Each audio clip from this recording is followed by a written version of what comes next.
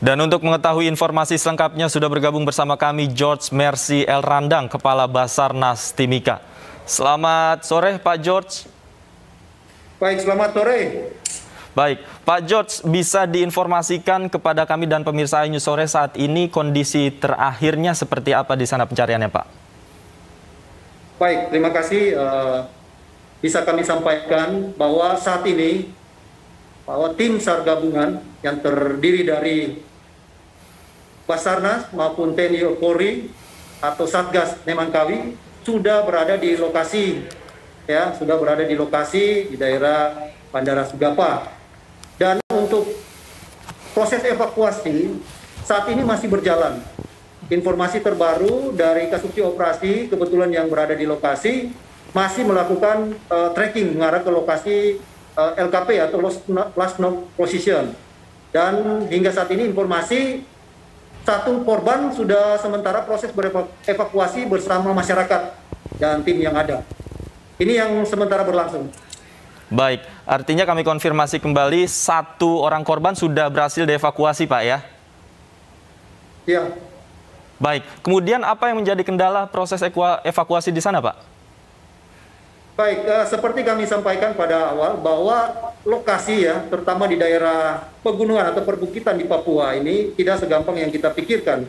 Banyak kontur-kontur dan eh, jalur-jalur yang sangat curam untuk proses melakukan pencarian ataupun evakuasi.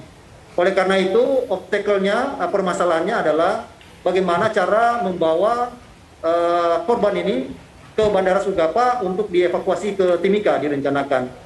Uh, jadi hambatan atau permasalahan yang ada satu itu. Yang kedua, boleh kami sampaikan bahwa uh, selain hutan rapat, daerah yang terjadi uh, insiden itu daerah yang masih dianggap rawan ya, hmm. sehingga perlu sinergisitas, perlu pengamanan ekstra dari TNI Polri untuk tim evakuasi atau tim sar gabungan mengarah ke lokasi. Demikian.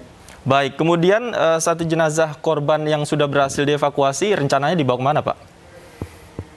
Uh, sesuai dengan informasi yang kami dapat bahwa dari pihak maskapai juga sudah menyiapkan dua unit pesawat ya untuk dibawa ke Timika, tetapi uh, direncanakan esok hari.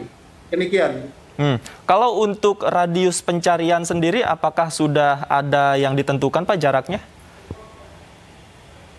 Baik, untuk koordinat sudah diketahui, tidak ada pencarian lagi.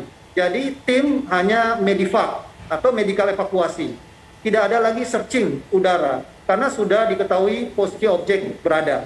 Dan yang jadi obstacle sekarang jadi permasalahan adalah membawa korban dan uh, dua korban lainnya untuk diturunkan dan dibawa ke Bandara Sugapa yang notabene jaraknya cukup jauh kalau berjalan kaki.